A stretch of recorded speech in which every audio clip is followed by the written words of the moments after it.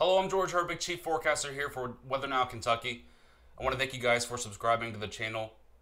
Before we dive into what to expect here, I want to let everyone know that we're not abandoning Facebook. We're just growing to multiple platforms because we want to reach more people in Kentucky and give them accurate updates. I think there's a lot of folks that rely on weather apps, and while weather apps are a great resource, they're not manually fine tuned, they're automatically inputted. So I think what we've seen a lot lately is a lot of people getting caught off guard by events that are happening that they're not really updated on basically because those apps aren't fine tuned.